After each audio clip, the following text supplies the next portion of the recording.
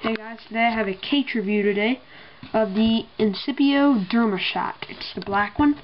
Um, before I start, people complain and rant all the time about dust on silicone cases. You cannot complain until you have seen this case, okay?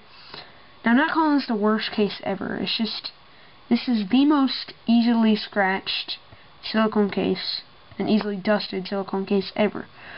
Okay, now, I'm not going to have an unboxing on this one. I don't really like unboxings unless I got it through the mail. Um, well, even if I got it through the mail, I don't really like them. I know I've done them before. I'm being a hypocrite on this, but, you know, I don't like unboxings a lot. Um, I'm not going to do them as much. I might do another one sometime, but, um, you know, I've already thrown away the box on this, so, yeah, I have. I did it. Um, it, but just to fill you in, it came with a screen cover that I didn't use because I don't really like screen covers either. Um, and it comes with a little, it came with a little cloth. Um, maybe throughout the video, it's over in this drawer next to me. So throughout the video, I might look for this first said cloth. Um, if I don't find it though, don't kill me. Ah, here it is. It came with this Incipio cloth that I still use. It's not a bad cloth. It is some sort of microfiber, but it does a good job of cleaning the screen. It's made to use before you put on the screen protector, but it is a good little cloth, so yeah. Anyways, but that's not the reason you order the case. This is, and it also came with a plug that comes in down here. It's in that drawer too, but I'm not going to spend 20 minutes looking for it, because it's this tiny little thing that plugs in there that plugs up this port. I don't like it because a, I may have already lost it. It's in the drawer, but I don't feel like looking for it. And um, and B, it is kind of in the way because I charge my iPod a lot. Because I don't know if you can see, but that thing runs out pretty fast. I've only been using that for a little bit, and it's already down to 77%. So I'm plugging this thing in a lot. So I don't use that. So basically, this case, its main function is as a thick protective silicone case that fits on your iPod well which it serves a good purpose as. It does well with protecting your iPod. Making your iPod any prettier? Uh, not really. Um, it has a couple of cool design features, so let me put my iPod in this case, just to show you. It slides in just like any other silicone case. Um, let's see here. I believe it's one of the cheaper ones. It's $17.99 on Incipio's website.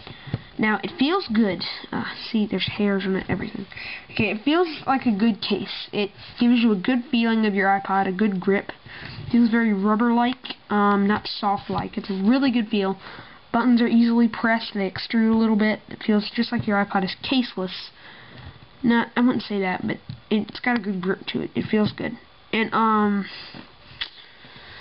Okay, now to the lint and scratches. I'm not looking forward to doing this, okay? I have not been using this case for very long, and lint, lint, lint. You cannot get rid of it. It's everywhere. Scratches, scratches, scratches. Um, like, if I move my finger across it, it gets oily and stuff. So, it's not pretty. I, I can, I don't know, I don't really want to scratch it, so. Um, I there already some scratches on here. Like, this camera doesn't do a terrific job showing all the scratches. If I hold up the light here, you can kind of see the scratches and things that it has been through. So that does not look good. That does not look good at all. So if you don't look at the back, um, and you come to the front, not easily linted except on the bottom.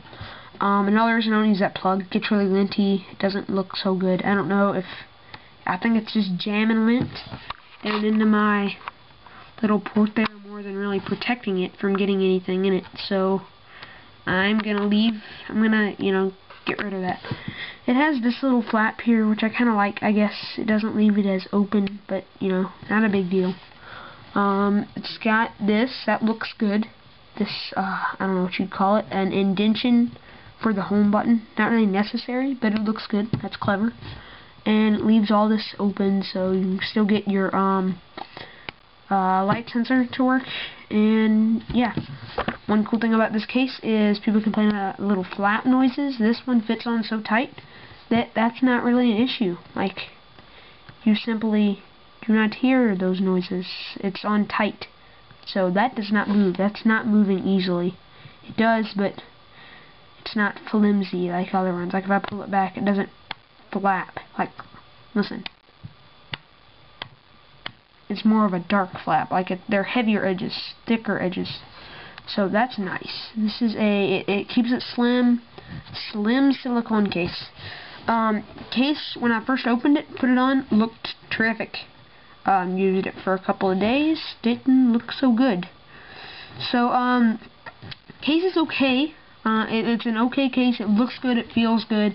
It works well. It'll protect your iPod from scratches and um, light knocks. Um, I would not recommend it though if you're OCD or you're like a freak about your iPod being clean all the time. I am, but I don't look at the back because when I put on this case. Um, so I would not say this case is as good as something similar to the Proporta soft feel silicone case. Um, I have my silicone soft feel case right over here. I had to jump up and get that for you. I should have gotten it before the video over here, but uh, I put the case inside this one. Don't mask. I was using it for something else, but yeah. Not as good as this, I wouldn't say. It's not white, so it doesn't get little lint and stuff on it. It's a nice black. I think they sell it in white too, but like look at the backs of these side by side. Don't know how well you can see that, but this one, just lint-wise, is way better. Alright, so let me rub across this one and let you hear it. Okay, hear that? Now listen to this one. This one sounds like sandpaper and this one sounds like lavender. Or, la what do you call it? Lavender, that's not it. Uh, the, this, what's it called? The, the, um, maybe it is lavender, but that's the plant too. I don't know, it's the soft, silky, silk, silk. Yeah, this one sounds like silk, this one sounds like sandpaper. So, backs of the case wise, this one probably feels better. This one looks better, uh, in my opinion, maybe works a little bit better. Um, one pro over this one, over other ones though, is that extrusion over here. This, those are extremely easy to access and easy to press.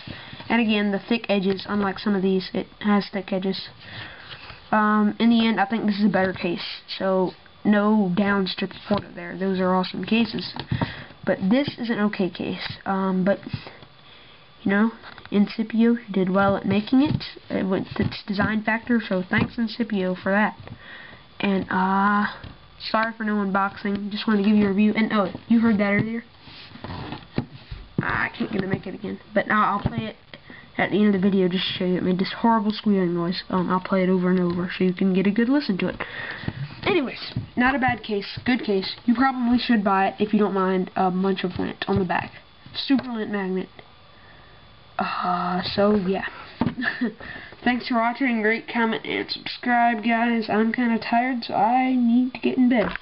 Um, I'll be making some more videos throughout the week, hopefully, of the Griffin iClear. I made that video a while ago, never got it uploaded. Sorry about that.